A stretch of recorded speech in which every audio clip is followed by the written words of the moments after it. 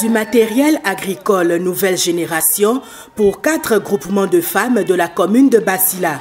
Un moulet à karité, trois moulets à manioc, un torréfacteur manuel et six presses de gari.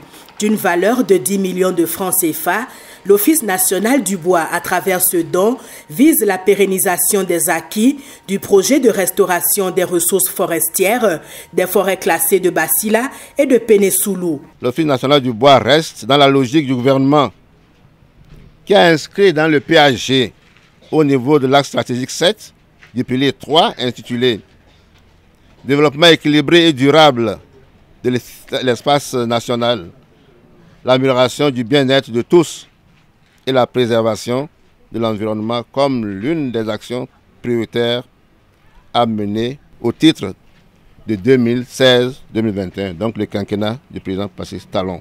L'accompagnement de l'Office national du bois à ces groupements de femmes dans la promotion de leur activité génératrice de revenus, moins destructrice de l'environnement et des ressources naturelles vient donc à point nommé. Je voudrais saluer tout ce travail-là qui en réalité vient soulager le conseil communal de Basila. Parce que dans le PDC troisième génération, il est prévu l'appui au groupement de femmes pour les activités de transformation.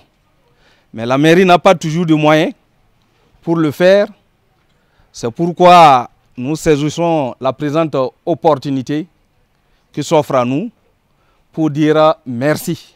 Une gratitude également partagée des bénéficiaires. Grâce à ce matériel, je pense que la population de la commune de Basila sera consciente très prochainement pour sauvegarder les forêts classées et les forêts privées car grâce à ces forêts, nous avons aujourd'hui ce joyeux matériel qui pourra améliorer les conditions de vie de la population et des femmes en général.